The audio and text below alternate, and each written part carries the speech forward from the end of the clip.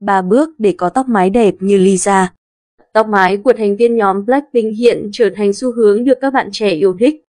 Lisa nổi tiếng với kiểu mái ngố kể từ ngày đầu ra mắt. Điểm đặc biệt là chúng không bị xê dịch kể cả khi thực hiện vũ đạo mạnh. Dù thay đổi về màu sắc hay chiều dài, phần mái bằng dày của nữ thần tượng vẫn giữ nguyên. Kiểu tóc này trở nên phổ biến ở nhiều quốc gia như Hàn Quốc, Nhật Bản và Trung Quốc. Nhận thấy sự quan tâm của phái đẹp về cách giữ gìn tóc mái, Sina liệt kê 3 bước được Lisa tiết lộ trong một chương trình giải trí mới đây. Dùng lô uốn tóc Bước đầu tiên không thể thiếu trong quá trình chăm sóc tóc mái chính là dụng cụ uốn tóc. Lisa chia sẻ rằng việc uốn tóc không chỉ giúp tạo độ cong, độ bồng cho tóc mái mà còn giúp nó không bị bết dầu. Việc chọn lô cuốn tóc rất quan trọng.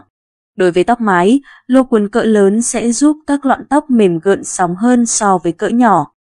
Một mẹo nhỏ khác là bạn nên làm nóng lô cuốn trước khi sử dụng. Để có các lọn tóc xoắn chặt, bạn cần dùng cỡ nhỏ với nhiệt độ cao. Dùng lô cuốn cỡ lớn và nhiệt độ thấp nếu muốn có tóc mái bồng bềnh như Lisa. Máy sấy tóc Sau khi lô cuốn tóc hỗ trợ tóc mái theo hình vòng cung, máy sấy sẽ giúp nữ rapper giữ được nếp trong thời gian dài. Bạn cần lưu ý để gió thổi từ trên xuống, không nên mở mức gió quá mạnh.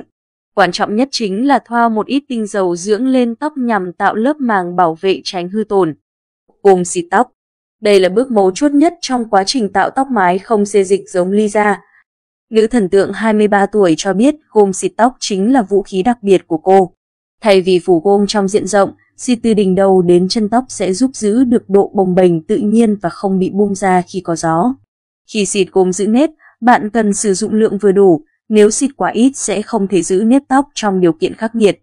Ngoài ra, bạn nên chú ý đến bước chia tóc theo từng mảng tùy độ dày bởi khi xịt trực tiếp sẽ làm cho tóc mái bị bết và mất thẩm mỹ.